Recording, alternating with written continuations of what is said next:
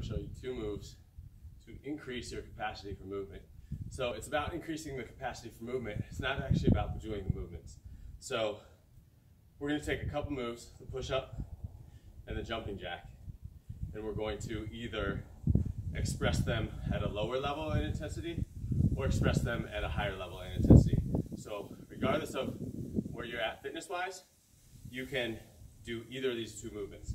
So push-up, we're gonna start on the low end, right? And all we're gonna do, if you can't do chest to the floor push-up, we're going to lower ourselves to the ground and get back up. So with push-up, we're gonna start here, right, in our plank.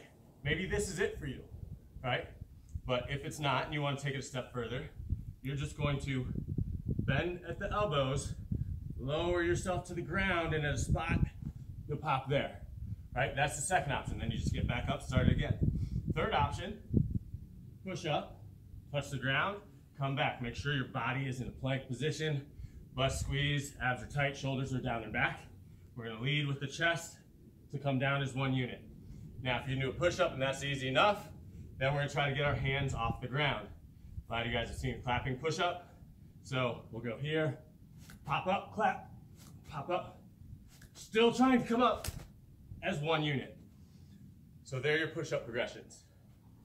Jumping jack. Now, we're gonna start with the feet together. This is level one. Start with the feet together. All you're gonna do is separate the feet, put your arms up in there. So it'll look like this. Boom, boom, boom, boom, boom, boom, boom, boom. Maybe step out the other foot first. So there's level one. So it's just a step out. Bring your hands up above your head. Next level, regular jumping jack, feet together, come up, clap, hands back to the hips. So boom, boom, boom, boom, clap, clap, clap, clap. Last one, it's called a star jump. We're gonna start with the feet together. We're going to open up everything. So come down, touch the toes, open everything.